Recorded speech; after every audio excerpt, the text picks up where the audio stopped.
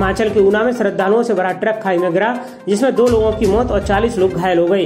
हादसे के दौरान काफ़ी श्रद्धालु ट्रक के नीचे दबे हैं। ट्रक में 40 से 50 श्रद्धालु सवार थे। खबर लिखे जाने तक खाई में फंसे श्रद्धालुओं को निकालने का कार्य जारी है। दक्षिण चीन सागर में एक बड़ा विमान हादसा हुआ है। रूसी समाचार एजेंसी स्पुतनिक की रिपोर्ट के मुताबिक बोइंग सात कथित रूप से दक्षिण चीन सागर में दुर्घटनाग्रस्त हो गया। यह विमान चीन के कुनिंग से गुआन छाऊ जा रहा था। 133 पैसेंजर को ले जा रहा विमान चीन में क्रैश, कईयों के मारे जाने की आशंका। दिल्ली से दोहा जाने वाली फ़्लाइट की कराची में इमरजेंसी लैंडिंग। घटना की फ़िलहाल जाँच की जा रही है और यात्रियों को दोहा ले जाने के लिए एक राहत उड़ान की व्यवस्था की जा रही है। रिपोर्ट्स के मुताबिक, कतर एयरवेज की उड़ान संख्या क्यू आर में करीब 100 यात्री सवार थे। पीएम मोदी ने कहा, मुझे खुशी है कि आज दोनों देशों के बीच शिखर सम्मेलन का सिस्टम बन रहा है। भारत की प्राचीन मूर्तियों को वापस करने की पहल के लिए मैं आपको धन्यवाद देता हूँ। जो उनतीस मूर्तियाँ आपने भेजी हैं, उनमें सैकड़ों साल पुराना आर्ट वर्क और तस्वीरें शामिल हैं। इन मूर्तियों को राजस्थान, पश्चिम बंगाल, गुजरात, हिमाचल प्रदेश और अन्य राज्यों से अवैध रूप से देश से बाहर ले जाया गया था।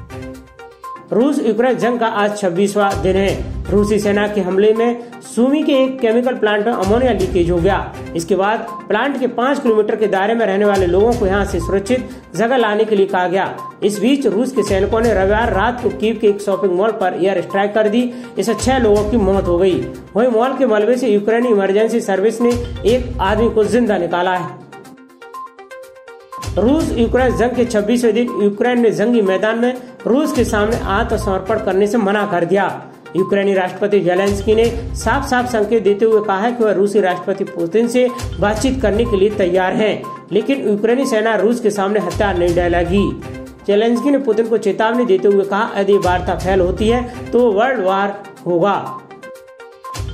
कुर्सी संकट में आई तो पाकिस्तान प्रधानमंत्री इमरान खान को भारत याद आया और भारत की तारीफ़ की। पाकिस्तान की संसद में इमरान खान के खिलाफ 28 मार्च को अविश्वास प्रस्ताव पर वोटिंग होनी है। इस वोटिंग से इमरान डरे हुए हैं, क्योंकि उनकी पार्टी के ही कई सांसद उनके खिलाफ हैं। इसी बीच उन्होंने भारत की तारीफ़ भी की। बांग्लादेश की राजधानी ढाका के इस्कॉन मंदिर पर पिछले दिनों हुए हमलों पर बांग्लादेश सरकार ने शक्ति दिखाई है। बांग्लादेश की शेख हसीना सरकार ने सोमवार को वादा किया कि इस हमले के दोषियों को कठोर सजा मिलेगी और यह सजा इस तरह की सोच रखने वालों के लिए भविष्य में भी उदाहरण बनेगी। सरकार ने कहा कि बेशक आरोपी किसी भी धर्म के हों, उन्हें छोड़ा नहीं जाएगा। वसुंधरा के लिए लिखा पीएम को पत्र। वसुंधरा राजे को सीएम चेहरा बनाने का मामला दिल्ली आलाकमान तक पहुँचा है। वसुंधरा राजे समर्थक पूर्व विधायक कृष्णा राम नाई ने पीएम मोदी को पत्र लिखकर वसुंधरा राजे को विधानसभा चुनाव 2023 में सीएम चेहरा बनाने की मांग की है। कृष्णा राम ने पीएम मोदी को कृष्णा राम ने पीएम मोदी को लिखे पत्र में कहा, राजस्थान में पार्टी बिखराव पर है।